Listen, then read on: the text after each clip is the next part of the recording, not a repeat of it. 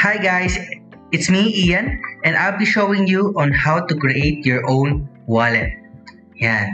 So first things first, what we're gonna do is we're gonna go to one of the most popular uh, wallet site. Yeah, It's called metamask.io. Yeah.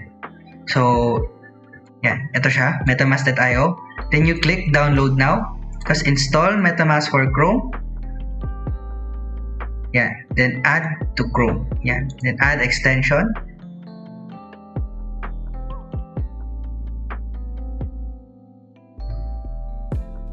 Then wait lang natin.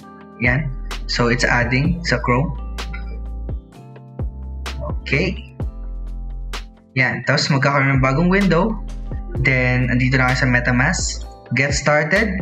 Then, if it's your first time creating a wallet, dito tayo sa yes, let's get set up. Yan, create a wallet. I agree. Tapos, password, kahit ano.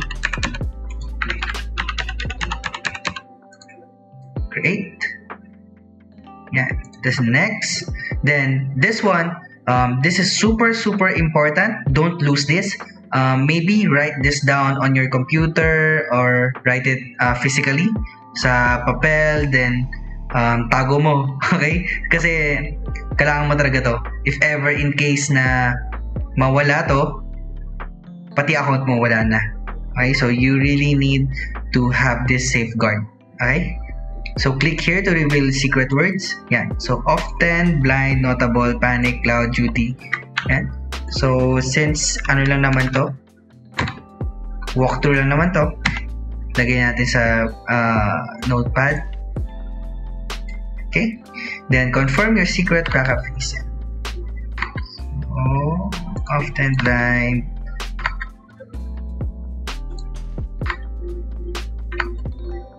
Notable panic cloud. Duty. Rather double ring member drive. Yan. So, once correct yung mga in-input mo, sabi niya sa ito, congratulations, blah, blah, blah. Yan. And there you have it. Yan na yung wallet nyo. So, we're done creating our wallet. Next, um, I'm gonna show you what is decentralized exchange. So, ano bang decentralized exchange muna? So, decentralized exchange or DEX are a type of cryptocurrency exchange which allows for direct peer-to-peer cryptocurrency transactions to take place online securely and without the need for an intermediary. So, ibig sabihin, kayong dalawa lang talaga. There's no third party whatsoever na makikigulo sa inyo. Okay? So, ito yung isa sa mga site na sikat um, sa mga decentralized exchange. It's called PancakeSwap. Yan. PancakeSwap. So since um, naka, naka-set up na yung MetaMask yun na wallet, um, all you need to do is connect your wallet to a decentralized exchange. Here, connect wallet. Then select MetaMask. Yan. Tapos from there, ayan na. So from here, you can go to exchanges. Yan. Tapos pwede ka mag-swap. Yan let's say swap natin to USDT, ganun. Yan, parang ganyan siya. Tapos, confirm, wait, malaki to. yan. Ay, let's say 1. Yan. So, gusto ko makakuha ng 1 USDT gamit yung BNB ko. Yan. So, yan. Nakita nyo, may price update pag hindi nyo kinig agad kasi nagbabago yung chart nung ano eh nung BNB to USDT na pair. Yan. So confirm swap. So next makikita nyo dito may gas price Gway tapos gas limit. Yan.